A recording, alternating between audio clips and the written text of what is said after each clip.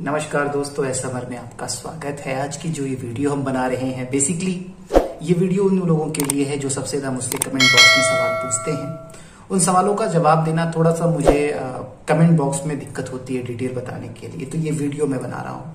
ये मेरी पहली फेस कैम वीडियो है आप मुझे मेरे चैनल पे पहली बार देखेंगे इस तरीके से वीडियो बनाते हुए। आ, तो इसमें सबसे पहला सवाल जो मुझे मिला वो है आरवीएस जी का जो आ, इनका सवाल ये है कि इनके गन है वी एक्स हंड्रेड उसमें बैरल में पैलेट फंस गई है। तो देखिए बैरल में से पैलेट निकालना का कोई और तरीका तो नहीं है। आपको सिर्फ़ यही करना होगा कि बैरल को ब्रेक करके उतनी ही मोटी लोहे की रॉड आप ढूंढे और उससे उसको पीछे से प्रेशर डाल के निकालने की कोशिश करें। अदरवाइज़ और कोई तरीका नहीं है। अब ये चीज़ करते समय आपको थोड़ा सा ध्यान देना है कि रॉड जो है, जितनी पतली हो सके उतना अच्छा। क्योंकि अगर मोटी होगी तो आपके बैरल में स्क्रैच लगाएगी तो आप थोड़ा सा इसको बचा के करें। और दूसरा सवाल जो सवाल तो नहीं है कमेंट है बड़ा अच्छा अमित जी का। अमित जी ने मेरी खुखरी वाले वीडियो पे जो मैंने वीडियो बनाई थी रेस्टोरेशन की, उस पर काफ़ी अच्छा कमेंट किया। तो अमित जी बहुत बहुत शुक्रिया, आपको वीडियो पसंद आई। और एक और सवाल है जो सबसे ज़्यादा मुझसे पूछा जाता है ये वीडियो, खास उसी चीज़ के लिए मैंने बनाई है। जो सवाल ये है कि क्या वी एक्स हंड्रेड जो एयर राइफल है, उसके अंदर नाइट्रो पिस्टन लगाया जा सकता है? एनएक्स वाला। तो बिल्कुल लगाया जा सकता है। नाइट्रो पिस्टन दो तरह का आता है। एक आता है चालीस बार का, एक आता है साठ बार का। दाम दोनों का सेम है 60 और 40 बार्स के जो पिस्टन है, उन दोनों के प्राइस सेम है। आप दोनों में से कोई भी लगा सकते हैं। क्योंकि मैं आपको ये बता दूँ, चाहे एस एक्स हो वी एक्स हो एन एक्स हो, इनकी कोई भी मॉडल हो चैम्बर सबके सेम है। सिर्फ़ बैरल में बदलाव होती है लंबाई में। चैम्बर सबके सेम है। यहाँ तक कि उनके बट्स में भी बिल्कुल एक जैसे होते हैं साइज़ एक जैसी होती है। ट्रिगर सिस्टम तो बिल्कुल ही सेम होता है। सिर्फ़ टेक्नोलॉजी के नाम पे पिस्टन स्प्रिंग में ही बदलाव आता है। इस हिसाब से देखा जाए तो मेरी favourite air rifle V X hundred ही रही है। सबसे ज़्यादा आप देखेंगे मैं वी एक्स हंड्रेड पे वीडियो बनाता हूँ। क्योंकि ये सबसे सस्ती और एक अच्छी एयर राइफल मुझे पसंद आती है। एक V S hundred air rifle आपको पहले सात हज़ार की आती थी, अब आठ हज़ार रुपए में आती है। इसमें कुछ भी बिगड़ता है तो 400-500 में ये गन एयर राइफल रिपेयर हो जाती है। अभी लेटेस्ट मुझे पास एक एनएक्स एयर राइफल आई थी रिपेयर करने के लिए। तो मेरे फ्रेंड की थी, मैंने जब उसका पिस्टन खोला तो पिस्टन बिगड़ चुका था, पूरा बैठ चुका था। मैं उसकी वीडियो भी बहुत जल्दी आप में अपलोड करूँगा। तो सवाल ये था कि क्या वीएक्स में एनएक्स की फिटिंग हो सकती है? तो मैं आपको बस इतना ही कहूँगा कि आपकी प्रेसी होल की कोई भी वेपन हो, कोई भी एयर राइफल हो, उसके अंदर एनएक्स का सामान वीएक्स में वीएक्स का सामान एनएक्स में एसएक्स में सबका लगाया जा सकता है। तो आप किसी भी तरह का मॉडिफिकेशन करना चाहें, कर सकते हैं। मेरी सलाह मानिए तो एनएक्स मत लीजिए। आप ग्यारह बारह हज़ार की एयर राइफल खरीदेंगे। कुछ दिनों बाद वो बिगड़ जाएगी अगर तो आपको बहुत ही तकलीफ़ होगी। एसएक्स भी मत लें, मेरे हिसाब से तो आप वीएक्स एयर राइफल्स खरीदें। और अगर बाद में जब बिगड़े तो आप पिस्टन तीन हज़ार की डाल दीजिए तो आपकी सात हज़ार अगर आठ हज़ार की एयर राइफल है तो ग्यारह हज़ार में बिल्कुल एक ब्रांड न्यू आपकी एक एयर राइफल तैयार हो जाएगी। एनएक्स की तरह रहेगी वीएक्स और बाद में कभी बिगड़े तो आप स्प्रिंग डाल दीजिए, आपका काम चलता रहेगा। तो काम आपका कभी नहीं रुकेगा। तो ये मेरी एक सलाह है। अगर आपको सलाह पसंद आई हो तो ज़रूर लाइक और शेयर करें मेरे वीडियो को। अगला सवाल जो पूछा गया है मेरे इस वीडियो में सबसे ज़्यादा पूछे जाते हैं, गन की प्राइस को लेके कि आप गन की प्राइस नहीं बताते हैं।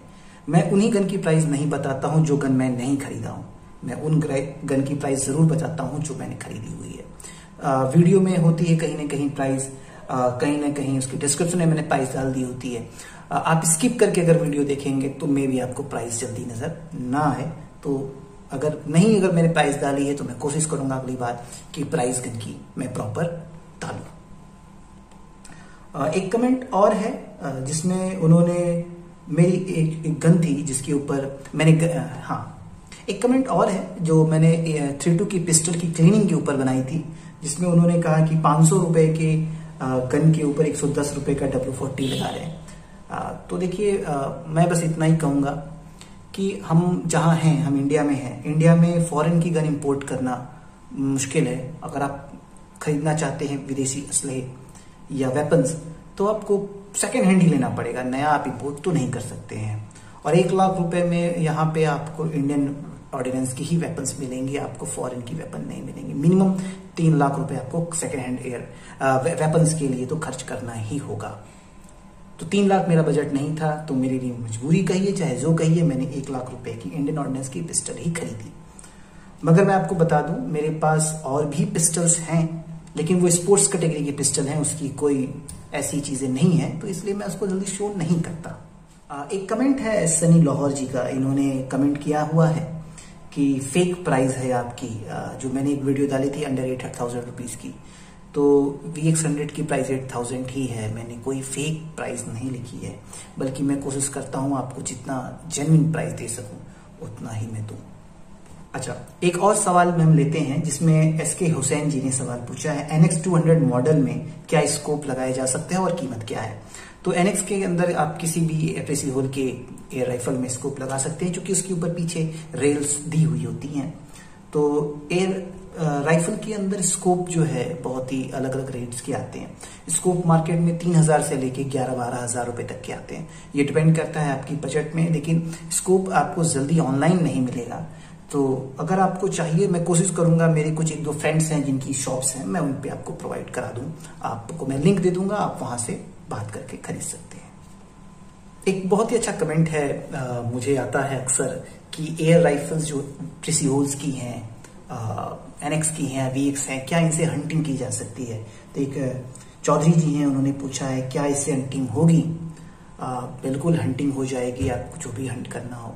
मगर मेरी रिक्वेस्ट है आपसे कि, कि कभी हंटिंग ना करें। मुझे हंटिंग नहीं पसंद है मैं हंटिंग नहीं करता। मेरे पास कई राइफल्स पिस्टल्स हैं लेकिन मैंने आज तक कभी हंटिंग नहीं की है। तो अगर आपको ये सवाल कभी भी इस तरह का पूछना हो कि आप क्या इस वेपन से हंटिंग कर सकते हैं तो मुझे माफ़ करें आप। मैं इसमें आपकी कोई मदद नहीं कर सकता। लव कुमार जी हैं। इनका सवाल है कि एनएक्स की वारंटी का क्या है? यानी तो मैं प्रिसी होल की वारंटी सिस्टम आपको समझा देता हूँ। प्रिसी होल की वेपन्स की वारंटी सिस्टम इस तरीके से है कि आप जब उस गन को खरीदते हैं तो उनकी वेबसाइट पे आपको जाके उसके सीरियल नंबर को एक्टिवेट कराना होगा। Within thirty days price खरीदने से। तो जब आप खरीदते हैं, उसके तीस दिन के अंदर उसकी बिलिंग अपलोड करते हैं तब आपको अपनी राइफल पे छह महीने से एक साल तक की वारंटी मिलेगी। अदरवाइज़ आपको वारंटी नहीं मिलेगी। तो ये इनका सिस्टम है। आप इसको ध्यान दें। एक सवाल है, काफ़ी अच्छा सवाल इनका भी था। कि क्या नाइट्रो जो पिस्टन है, इसको हम रिपेयर कर सकते हैं? बिल्कुल कोई भी चीज़ रिपेयर हो सकती है, लेकिन मैंने कभी ट्राई नहीं किया, क्योंकि नाइट्रो पिस्टन को खोल देने के बाद बैठाने के लिए उस तरह का मेरे पास कोई सामान नहीं है। मैं कोशिश करूँगा इस तरह की कोई वीडियो बनाने की। अगर सक्सेस होता है तो मैं ज़रूर आपको एक वीडियो इसकी बताऊँगा। एक और सब्सक्राइबर हैं, उन्होंने कमेंट किया है, लेखा राकेश जी नाम है उनका। Very information video bro thanks for दिया है उन्होंने। तो कामों की इस वीडियो पे उन्होंने थैंक्स बोला। तो बहुत बहुत शुक्रिया आपको मेरी वीडियो पसंद आई। तो आज के लिए इतना ही हम करते हैं। आगे जो भी वीडियोस आएँगी इस तरह की अगर आपको वीडियो चाहिए होगी तो आप ज़रूर हमें कमेंट बॉक्स में बताएँ इस वीडियो के। इस वीडियो को शेयर करें लाइक करें। अगर आपको ये वीडियो पसंद आई हो, अगर इस तरह की वीडियो आपको चाहिए कि मैं आपके सवालों का जवाब आगे दे सकूँ तो आप ज़रूर मुझसे सवाल करें। मैं कोशिश करूँगा आपके सवालों के। जवाब देने के लिए। आ, एक चीज़ और मैं कहूँगा चूँकि ये मेरा पहले फेस कैम वीडियो है और इतने दिन में मैं पहली बार आया हूँ तो आपके लिए ज़रूर कुछ लाऊं।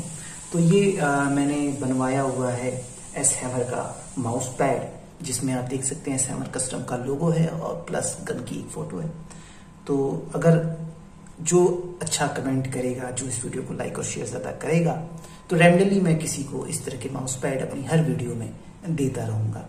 तो अगर आपको पसंद आए तो आप ज़रूर लाइक और शेयर करें। गर्मी बहुत है, आप देख सकते हैं मुझे पसीना हो रहा है। पसीना इसलिए भी हो रहा है कि वीडियो आपको साउंड आपकी इस वीडियो की अच्छी आए तो पंखे और सब कुछ बंद करके बैठा हूँ। इसीलिए पसीने हो रहे हैं। तो शुक्रिया आपकी सपोर्ट और प्यार का। धन्यवाद।